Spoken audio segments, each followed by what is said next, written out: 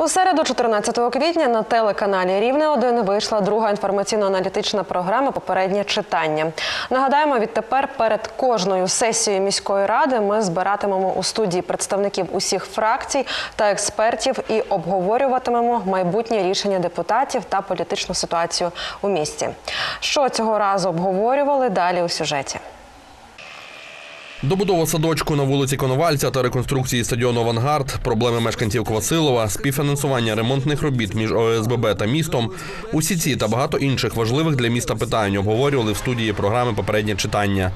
Ми запрошували до діалогу представників усіх фракцій міської ради.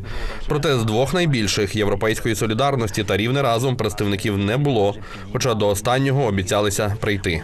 Ми запрошували у цю студію сьогодні представників всіх е, фракцій міської ради. Проте буквально за декілька годин до ефіру е, найбільша фракція Європейська Солідарність, яка на виборах нагадаю обіцяла бути відкритішою до рівнян і йшла з європейськими гаслами. На жаль, сказали, що не можуть сьогодні прислати до нас сюди е, свого представника з тих чи інших, напевно. е, Проблем Е, так само і е, фракція Рівне разом, яка на виборах обіцяла об'єднати всіх рівнян. Сьогодні також не, не ну, свого представника до нас не прислала.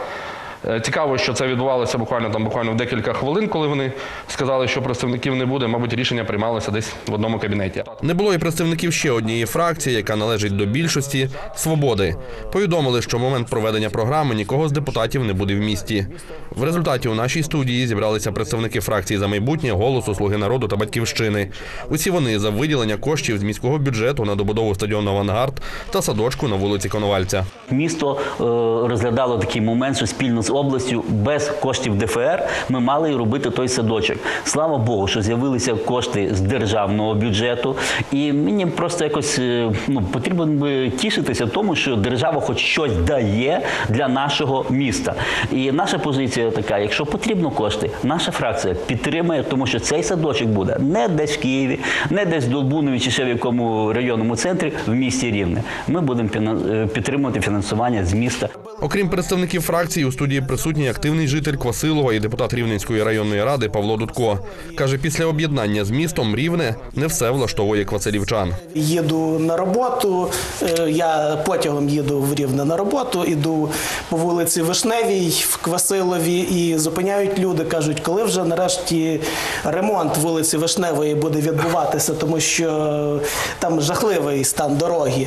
От і я не знаю, як цим людям пояснити, що депутати Рівненської міської ради вже 4,5 місяці торгуються за кап видатки, а бюджет розвитку не приймається і нічого не відбувається. Ну при поганому Володимиру Євгеновичу в, в лютому, максимум на початку березня, це все від вже приймалося. А при хорошому Олександру Віталійовичу вже середина квітня і нічого немає.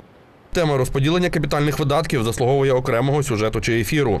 Єдине, що тут важливо додати, на календарі вже середина квітня, а бюджетні кошти на ремонти доріг, стадіону, садочку та інших важливих для міста об'єктів ще досі не розподілені. Досвідчені депутати кажуть, це вперше за всю історію міста Рівного так затягують з розподіленням грошей. Проте найбільш гаряча дискусія розгорнулася на питання про співфінансування ремонтних робіт між ОСББ та містом.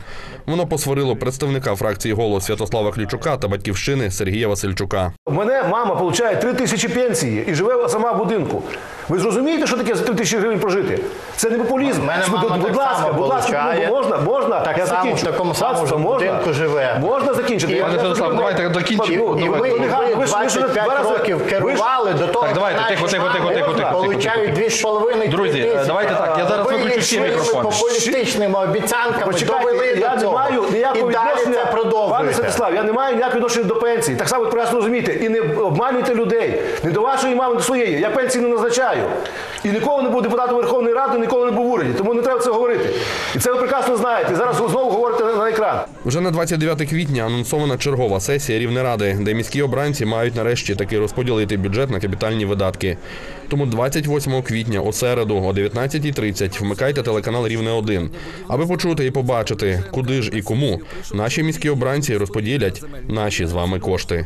Цього разу сподіваємось, що рівняни почують думку представників тих фракцій, які отримали найбільшу підтримку під час виборів. Олександр Туз, новини Рівного.